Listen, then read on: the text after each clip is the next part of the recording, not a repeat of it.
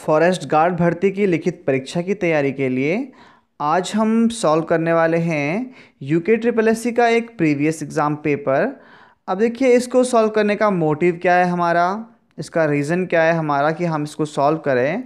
तो इसका रीज़न ये है कि चाहे हम किसी भी एग्ज़ाम की तैयारी कर रहे हैं तो उसके लिए सबसे पहले तो हमें ज़रूरी होता है कि उस एग्ज़ाम का हमें सिलेबस पता होना चाहिए, कैसा सिलेबस है, वहाँ पर किस तरह के क्वेश्चन वहाँ पर पूछे जा रहे हैं, और हम इससे ये भी हमें आइडिया आ जाएगा कि जो अभी अवर्तमान में हमारा जो आयोग है यूके ट्रिपल एस सी है, वह किस प्रकार के क्वेश्चंस पूछ रहा है और किस लेवल के क्वेश्चंस पूछ रहा है और किस तरह से वह अलग अलग पार्ट्स जैसे उत्तराखंड और हिंदी और इस तरह से सामान्य ज्ञान, किस प्रकार से इनके क्वेश्चंस को पुट कर रहा है और कहाँ से पुट कर रहा है तो इससे हमें यहाँ पर हेल्प मिलने वाली है। तो दोस्तों, आपको सिर्फ़ ये करना है कि हमारे साथ बने रहना है और वीडियो को अंत तक देखना है और हमारे साथ साथ इस क्वेश्चन पेपर को सॉल्व करना है। और जो धीरे धीरे हम आगे भी बहुत सारे क्वेश्चन पेपर सॉल्व करेंगे, नए मॉडल पेपर्स आपके लिए प्रोवाइड करेंगे तो आपको हमारे साथ बने रहना है। और अभी अगर चैनल को आपने सब्सक्राइब नहीं किया है तो चैनल को भी आपको सब्सक्राइब कर देना है। और साथ में बेल आइकन को फिर टैप कर दें क्योंकि इससे आपको नोटिफिकेशन प्राप्त हो जाएगा। तो ज़्यादा देर न करते हुए आज के इस क्वेश्चन पेपर को शुरू करते हैं।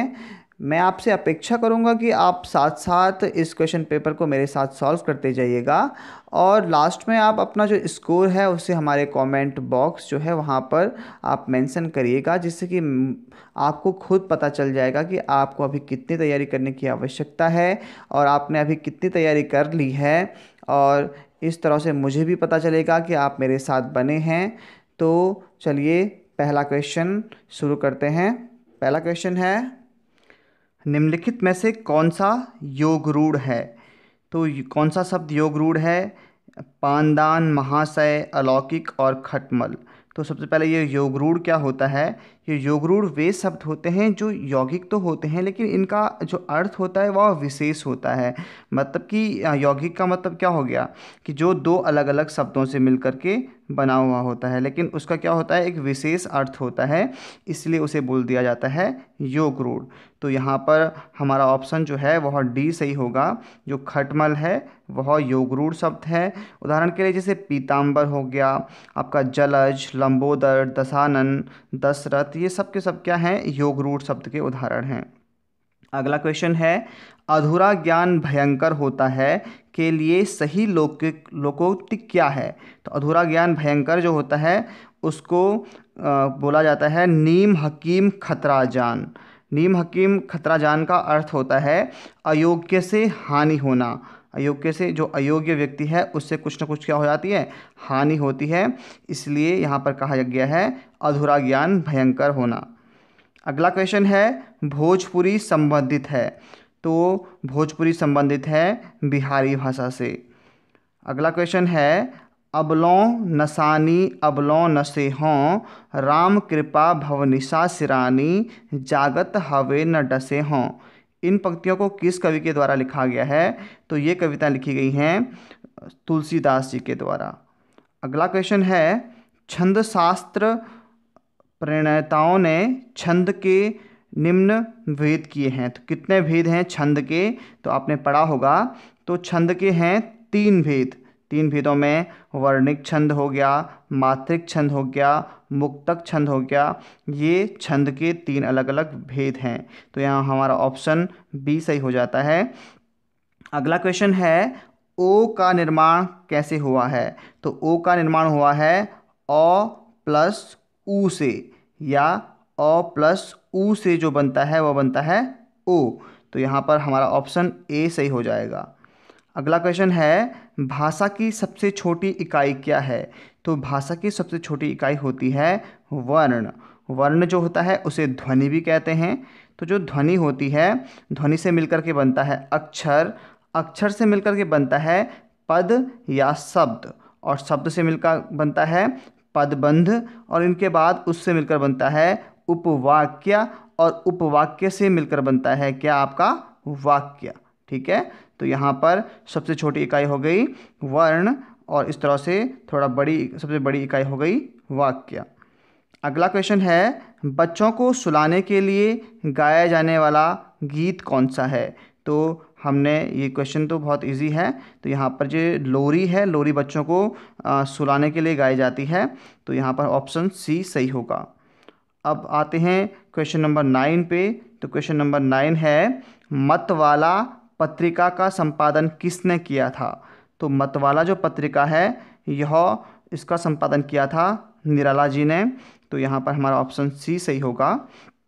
क्वेश्चन नंबर टेन है, महादेवी वर्मा का जन्म कब हुआ था? तो देखिए, यहाँ पर हमारे जो कवि हैं, कवियत्रियाँ हैं, इनके जन्म के बारे में, इनके जन्म स्थान के बारे में भी आजकल आयोग क्वेश्चन पूछ रहा है तो हमें ये बात भी ध्यान देनी है।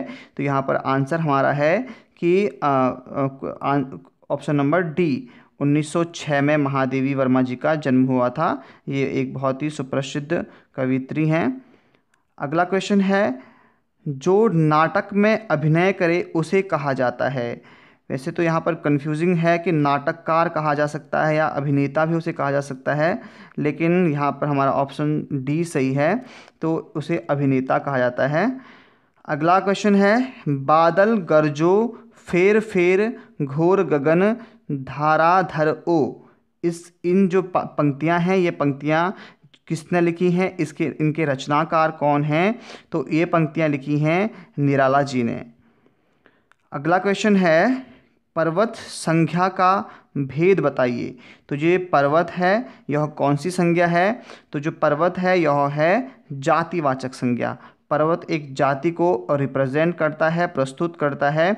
इसके बाद विभिन्न क्या होते हैं हमारे पर्वतों के नाम हो सकते हैं।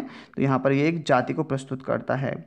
अगला क्वेश्चन है, वाक्य भाषा की संपूर्ण सार्थक इकाई है। तो देखिए यहाँ पर अलग अलग ऑप्शन किस प्रकार के दिए गए हैं। सही, आंशिक सही आंशिक गलत और पूर्ण गलत। देखिए, यहाँ पे कंफ्यूज हो सकते हैं, लेकिन नहीं, हमारा जो वाक्य होता है, वह भाषा की संपूर्ण सार्थक इकाई होती है।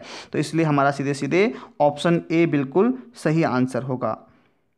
अगला क्वेश्चन है, हिंदी शब्दकोश में छ जो है अच्छा जो है वह किस वर्ण के बाद आता है? यहाँ पर क्वेश्चन थोड़ा घुमा है। वैसे तो आ, हम नॉर्मली अगर देखें तो शब्दकोश में ह के बाद छ आता है या अच्छा आता है लेकिन यहाँ पर ऑप्शन का इस क्वेश्चन का आंसर क दिया गया है। क्यों क्यों क्या क्यों दिया गया है? क्योंकि जो छ बनता है वह बनता है क और स से। तो इस तरह से इसने इसलिए यहाँ पर इस क को इसने आंसर माना है। अब क्वेश्चन नंबर सिक्सटीन है कि वाक्य को पढ़ने या बोलने में जो थोड़ी देर का ठहराव आता है, उसे क्या कहते हैं? उसे क्या कहते हैं? उसे कहते हैं अल्प विराम अल्प विराम जब क्या कहते हैं? कोई वाक्य बोलते हैं, उसके बीच में थोड़ा रुकते हैं तो उसे अल्प विराम कहा जाता है। अल्प विराम को आप कैसे रिप्रेजेंट करते हैं? ऐसे इसको लिखते हैं। जबकि इसी चिन्हों से एक और क्वेश्चन आ जाता है चिन्हों से भी क्वेश्चन पूछे जाते हैं।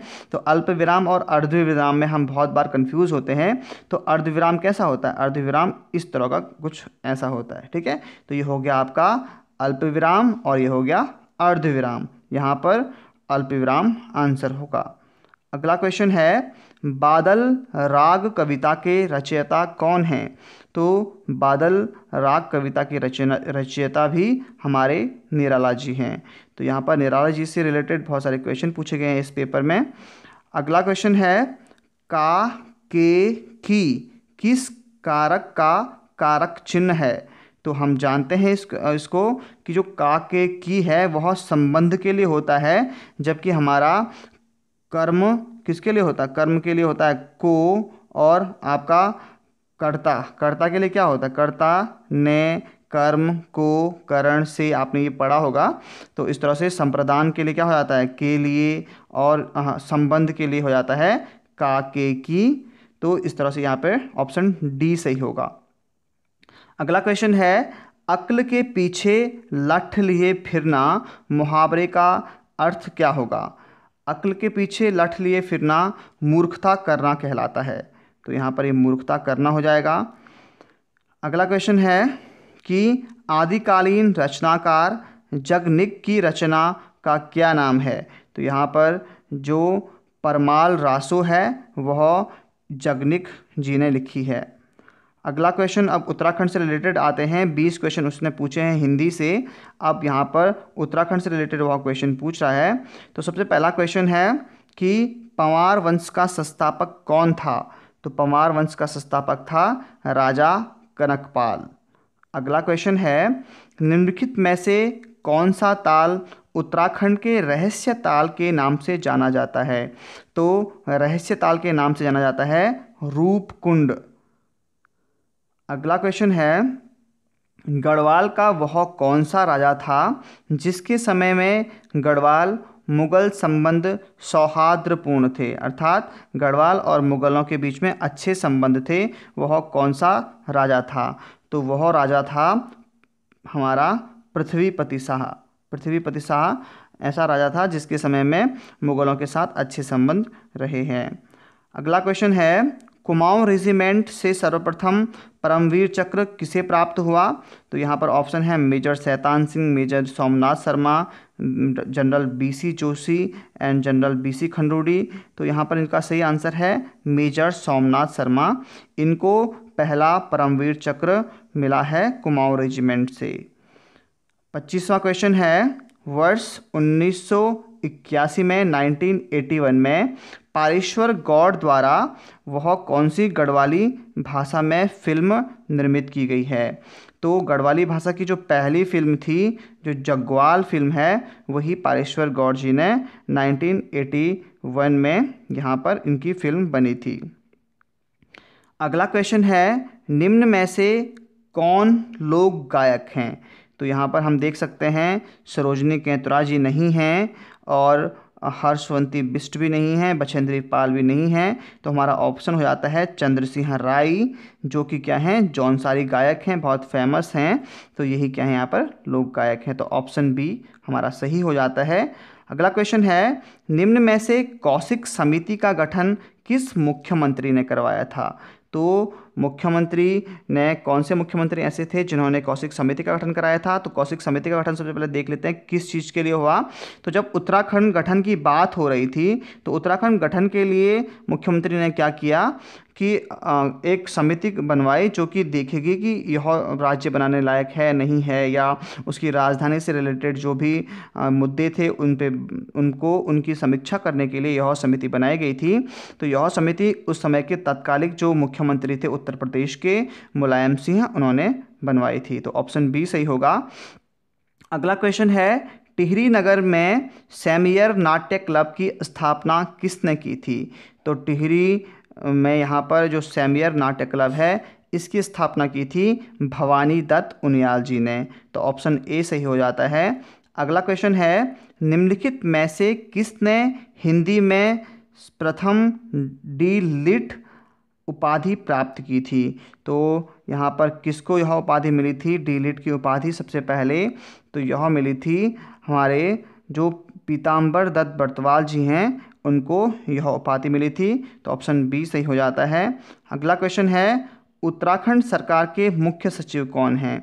तो यहाँ पर एक पेपर थोड़ा सा यहाँ पर जो अभी वर्तमान हमारे मुख्य सचिव हैं, वे हैं उत्पल कुमार सिंह।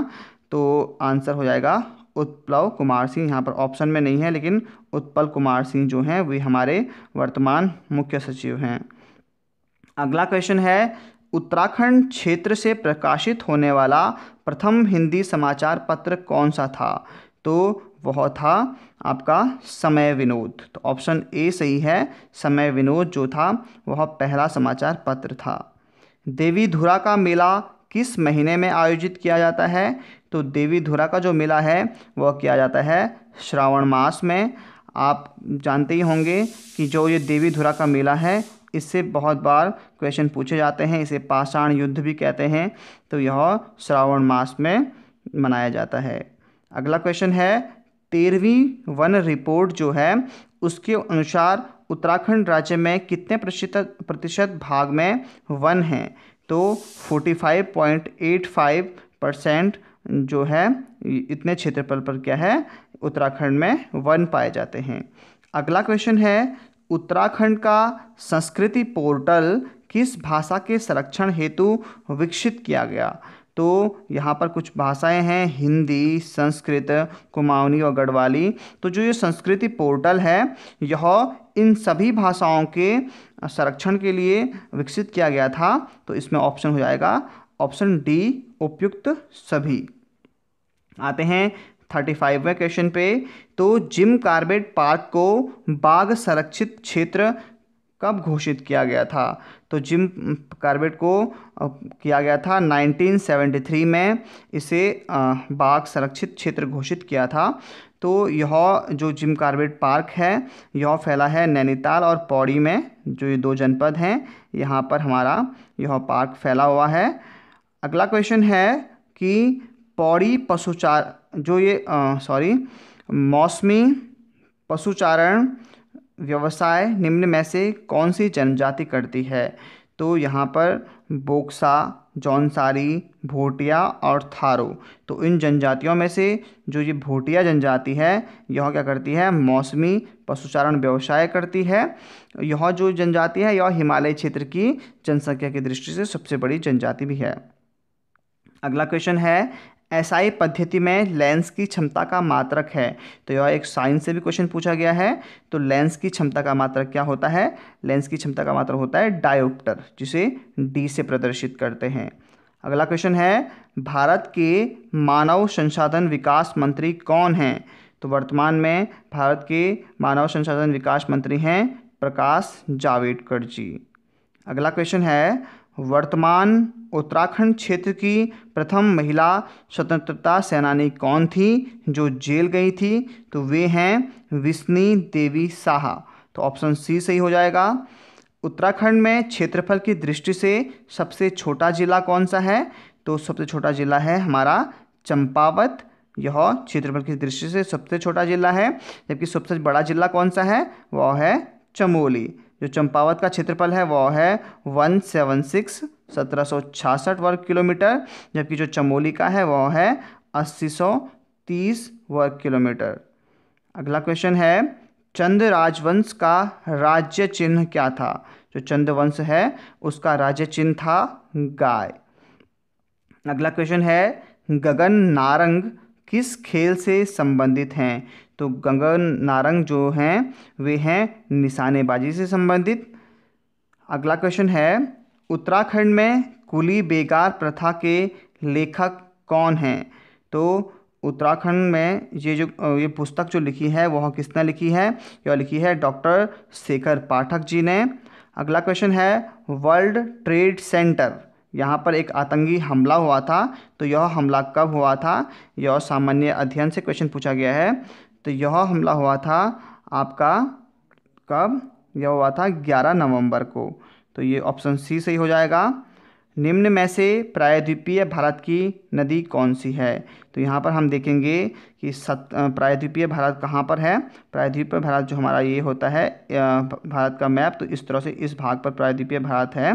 तो प्रायद्वीपीय भारत में जो कृष्णा नदी है, इस ऑप्शन में यह प्रायद्वीपीय भारत की नदी है। मैंडल ने आनुवंशिकता के प्रयोग सबसे अधिक किस पौधे पर किए? तो हमने पढ़ा है। तो मेंडल ने जो प्रयोग किए थे, वे किए थे आपके मटर के दाने पर सबसे अधिक प्रयोग किए थे। ओजोन परत हमारी रक्षा सूर्य से आने वाली किन किरणों से करती है? हम जानते हैं ओजोन परत के बारे में, जिसका कि बहुत ज़्यादा क्षय हो रहा है। तो जो परावैग्निक किरणें हैं, इन परावैग्निक किरणों से ओजोन परत हमारे पृथ्वी की रक्षा करती है। भारत का प्रथम राष्ट्रीय उद्यान है तो भारत का जो सबसे पहला राष्ट्रीय उद्यान है, वह है जिम कार्बेट जो नेशनल पार्क है, वही पहला राष्ट्रीय उद्यान था भारत का। अगला क्वेश्चन है, भारत का लौह पुरुष नाम से कौन जाना जाते हैं? आयरन मैन ऑफ़ इंडिया यह सरदार वल्लभ भाई पटेल जी को कहा जाता है तो ये हैं आयरन मैन ऑफ़ इंडिया अगला क्वेश्चन है कि 2015 का सरस्वती सम्मान जो है, वह किसे मिला था? तो 2015 का मिला था पद्मा सचदेव को, जबकि 2016 का मिला था महाबलेश्वर सैव जी को, और 2017 में मिला है किसको? सीतांशु यश चंद्र जी को। तो इस तरह के जो अवार्ड्स हैं, इनसे भी जो करंट के क्वेश्चन हैं, उनसे भी क्वेश्चन पूछे जाते हैं। तो हम धीरे धीरे ये बातें भी ध्यान रखें कि कहाँ कहाँ से क्वेश्चन पूछे जा रहे हैं। अगला क्वेश्चन है कि प्रसिद्ध अर्थशास्त्री मार्शल के अनुसार जीवन के सामान्य व्यवसाय का अर्थ है। तो यहाँ पर ये इकोनॉमिक्स से क्वेश्चन पूछा गया है कि जीवन के सामान्य व्यवसाय का अर्थ क्या है? तो कृषि उत्पादन, व्यापार, रोज़गार तो इनके अनुसार जो हैं ये सारे के सारे क्या हैं? व्यवसाय हैं। तो यहाँ पर ऑप्शन हो जाएगा उपयुक्त सभी। अब आते हैं फिफ्टी टूवें क्वेश्चन पे। तो ये क्या है? महान संगीतज्ञ जो अमीर खुसरो हैं, उन्होंने किस वाद्य यंत्र को बनाया था? तो इन्होंने बनाया था सितार वाद्य यंत्र को। इसके साथ साथ इन्होंने तबला वाद्य यंत्र को भी बनाया था। अगला क्वेश्चन है, एक दिवसीय अंतर्राष्ट्रीय मैचों में सबसे पहले दस हज़ार रन बनाने वाले क्रिकेटर कौन थे? तो वे हैं सचिन तेंदुलकर, ये तो हम जानते हैं सबके सब। अगला क्वेश्चन है इमल्सीकरण निम्न में से किसके पाचन हेतु तो आवश्यक होता है? तो इमल्सीकरण जो है, वह किसके पाचन के लिए आवश्यक होता है? यह होता है फैट, जो वसा है, वसा को पाचन के लिए आवश्यक होता है इमल्सीकरण।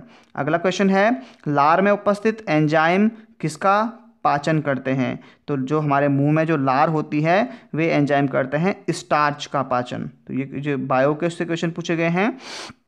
अगला क्वेश्चन है, एड्स वायरस रेट्रोवायरस कहलाता है, क्योंकि इसका आनुवंशिक पदार्थ होता है।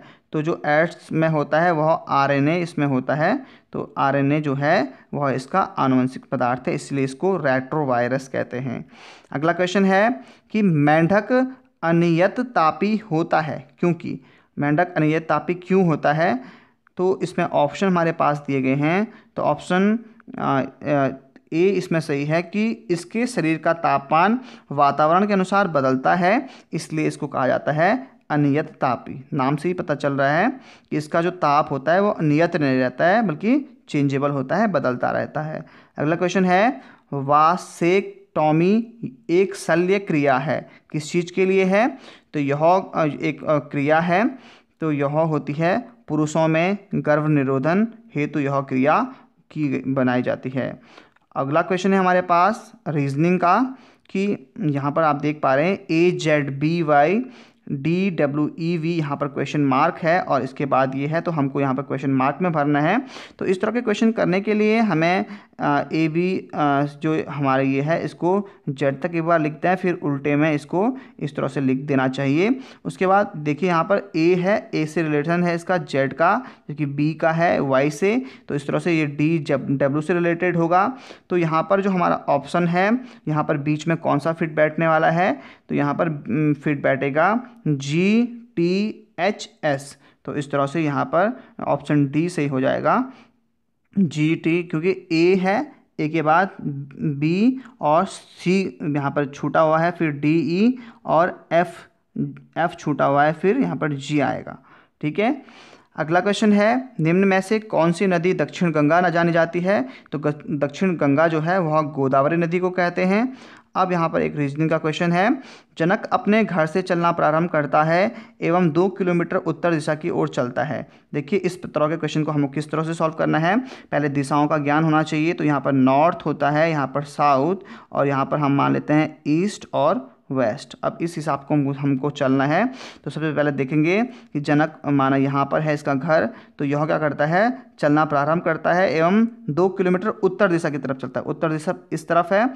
तो यह उत्तर की दिशा की तरफ़ दो किलोमीटर चल गया है।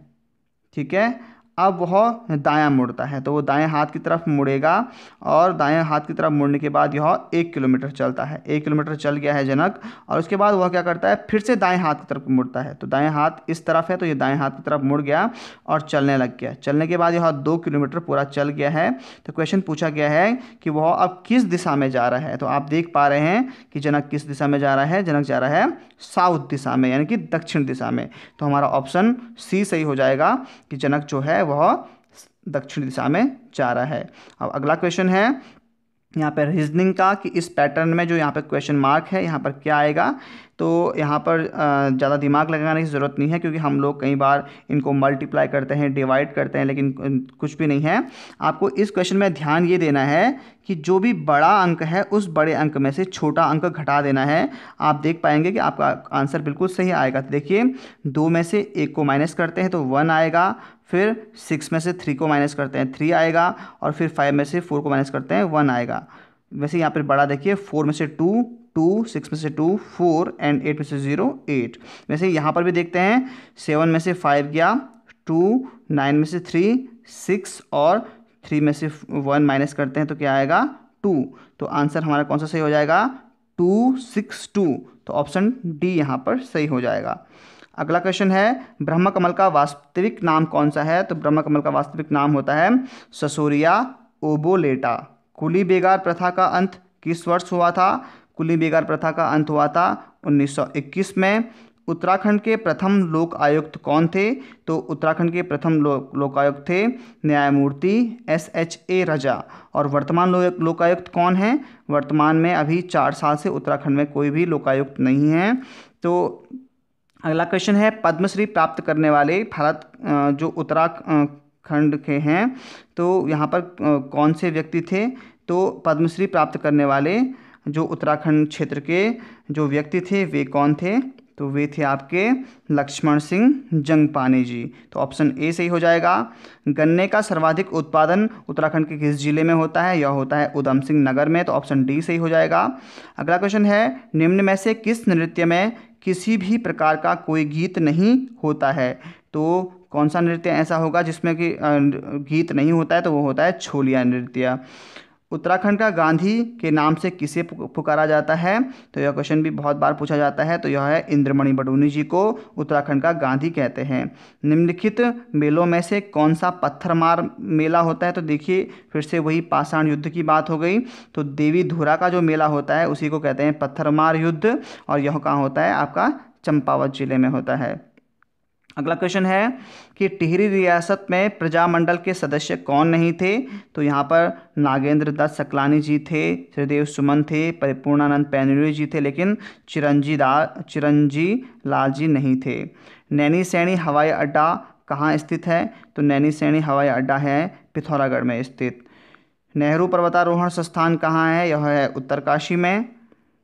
देहरादून में अंतर्राष्ट्रीय क्रिकेट मैदान का उद्घाटन कब हुआ था? तो यह हुआ था 16 दिसंबर 2006 में तो ऑप्शन ए सही होगा।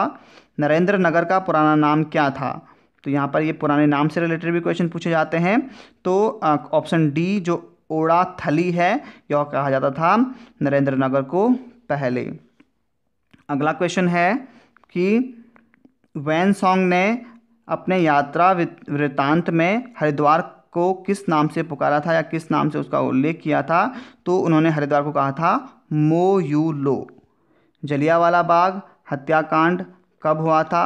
तो जलियावाला बाग हत्याकांड हुआ था 1999 में 13 अप्रैल 1919 में, जो वैसाखी के दिन यह कांड हुआ था। राजा जी नेशनल पार्क विस्तारित है तो राजा जी नेशनल पार्क है देहरादून, हरिद्वार और पौड़ी जनपदों में यह विस्तृत है। गोरखों ने कुमाऊं पर कब अधिकार किया था? तो 1790 ईस्वी में गोरखों ने कुमाऊं पर अधिकार किया था। निम्नलिखित में से एक पंचप्रयाग में सम्मिलित नहीं है। तो हम देखेंगे, देवप्रयाग, रुद्रप्रयाग और कर्णप्रयाग क्या हैं? प्रयागों में सम्मिलित हैं, जबकि सोन प्रयाग जो नामक स्थान है, यह पंचप्रयाग में सम्मिलित नहीं है। मौलाराम थे तो मौलाराम एक प्रसिद्ध चित्रकार थे। नर्मदा बचाओ आंदोलन से संबंधित हैं। तो जो मेधा पाटकर जी हैं, वे नर्मदा बचाओ आंदोलन से संबंधित हैं। चौफला, तांदी, चाँचरी, ये निम्न में से क्या हैं? तो ये सबके सब क्या हैं? नृत्य शैलियाँ हैं। हमारे जो उत्तराखंड है, यहाँ की नृत्य शैलियाँ हैं। उत्तराखंड का राज्य पशु क्या है? तो उत्तराखंड का राज्य पशु है कस्तूरी मृग। अगला क्वेश्चन है निम्न में से कौन सा बुग्याल वेदों के प्रसिद्ध स्थल व अपनी मखमली घास के लिए जाना जाता है? तो जो वेदनी बुग्याल है, वह वेदों का प्रविष्ट नाम से ही पता चल रहा है, वेदनी। वेदों से, वेदों का जहाँ पर पवित्र स्थल है, वह वेदनी बुग्याल है। भोपाल गैस त्रादशी जो हुई थी, वह कब हुई थी? तो जो भोपाल गैस त्रादशी जो हुई थी, वह हुई थी उन्नीस सौ चौरासी में, दो से तीन दिसंबर में यह हुई थी। तो दो से दो से तीन दिसंबर उन्नीस सौ चौरासी में जो है भोपाल गैस त्रासदी हुई थी, इसमें एमआईजी जो मिथाइल जो एमआईजी है मिथाइल आइसोसाइनाइड गैस यह क्या हुई थी, श्रावित हुई थी, इससे बहुत सारे लोगों की मृत्यु हो गई थी। अगला क्वेश्चन है, उत्तर प्रदेश हिंदी संस्थान द्वारा वर्ष 2015 का सुभद्रा कुमारी चौहान बाल साहित्य सम्मान किस साहित्यकार को दिया गया था? तो यह दिया गया था आपका डॉक्टर शशि गोयल को। तो यह ऑप्शन सी सही हो जाएगा। एक हिम घाटी समुद्र द्वारा अतिक्रमित होने पर क्या कहलाती है? कोई हिम घाटी है, वहाँ पर समुद्र ने उसका अतिक्रमण कर दिया है तो वह कहलाती है रिया। उसको रिया कहा जाता है। हिमालय पर्वत श्रृंखला निम्न में से किससे संबंधित है? तो हिमालय पर्वत श्रृंखला वलित पर्वत का उदाहरण है। कालका शिमला रेलवे को किस वर्ष में विश्व धरोहर सूची में सम्मिलित किया गया? तो इसे कहा 2008 में इस सूची में सम्मिलित किया गया था। मानव विकास रिपोर्ट 2011 के अनुसार मानव विकास सूची में किस राज्य को सबसे ऊपर दर्जा मिला था? तो केरल जो है, वह सबसे विकसित राज्य माना गया 2011 की मानव विकास रिपोर्ट के अनुसार। श्वेत क्रांति का संबंध किससे है? तो हम लोग जानते हैं कि श्वेत क्रांति मतलब यह दुग्ध उत्पादन से संबंधित है। अगला क्वेश्चन है, घरेलू एलपीजी की लीकेज ज्ञात करने के लिए इसमें कौन सी गैस भरी जाती है? तो जो इथाइल मरकेप्टेन गैस है, यह उसमें भरी जाती है। इससे जो स्मेल आती है गैसेस में, वह इसी गैस की वजह से आती है, जबकि इसमें प्रोपेन और ब्यूटेन गैसेस होती हैं। अगला क्वेश्चन है, साइकिल पर सवार होकर एक व्यक्ति 25 सेकंड में 150 मीटर की दूरी तय करता है। बताइए उसकी चाल कितनी होगी? तो देखिए, यहाँ पर चाल निकालनी है। चाल के लिए हमें फॉर्मूला पता होता है। डिस्टेंस अपॉन टाइम तो डिस्टेंस अपॉन टाइम के हिसाब से हमको डिस्टेंस पता है 150 मीटर और टाइम है 25 सेकेंड्स तो मीटर पर सेकेंड में हमें पता है तो इसको हमको चेंज करा, करना पड़ेगा किलोमीटर पर आवर में। तो इसमें हम इसको मल्टीप्लाई कर देंगे। Eighteen into eighteen divide by five से यहाँ पर इसको सॉल्व करने के बाद हमारा आंसर आ जाएगा। तो यहाँ पर हमारा आंसर आएगा twenty one point six kilometre per hour तो ऑप्शन बी सही हो जाएगा। यदि खिलाड़ी टीम तो जहाज़ क्या? तो जहाज़ किससे रिलेटेड है? यदि खिलाड़ी टीम से रिलेटेड है तो जहाज़ बेड़े से रिलेटेड हो जाएगा। तो ऑप्शन सी सही है। निम्न में से विजातीय शब्द को ढूंढिए। तो देखिए पेपर पेन पेंसिल ये सब के सब क्या हैं? एक जाति के हैं, जब ये स्टेशनरी है, यह क्या है? विजातीय शब्द यहाँ पर है। ए का अर्थ यदि जोड़ना है बी का अर्थ घटाना है सी का अर्थ गुणा करना है तो यहाँ पर इसको सॉल्व करने की क्या विधि होती है? कि यहाँ पर ए बी सी की जगह पर उन चिन्हों को रख देते हैं तो उस हिसाब से हमारा आंसर आ जाता है।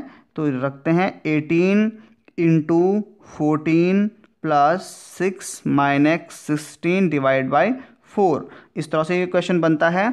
तो अब हमको सबसे पहले ध्यान ये देना है कि हमको सबसे पहले डिवाइडेशन करना है, फिर मल्टीप्लाइकेशन करना है, उसके बाद ऐड और उसके बाद माइनस करना है। जब हम इस पूरी प्रोसेस को करते हैं तो हमारा आंसर आता है टू फिफ्टी फोर तो यहाँ पर इसको पूरे का पूरे को अच्छे से सॉल्व करने के बाद यहाँ पर टू फिफ्टी फोर आंसर आता है तो ऑप्शन बी सही हो जाएगा।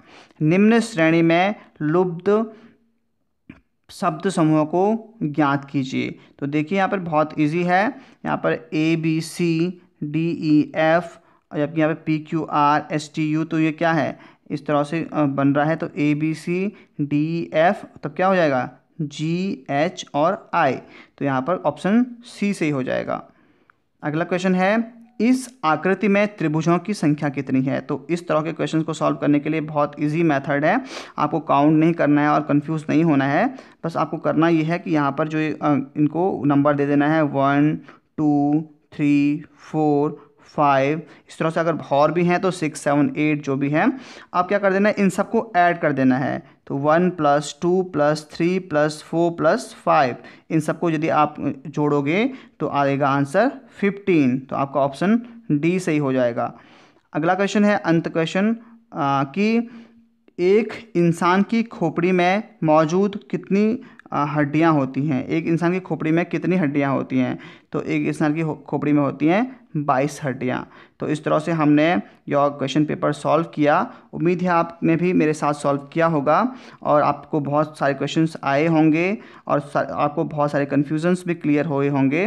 तो इसी तरह से हमारे साथ बने रहिए और अपने जो आंसर हैं उनको कमेंट बॉक्स में भी दीजिए। तो वीडियो को देखने के लिए आपका बहुत बहुत धन्यवाद।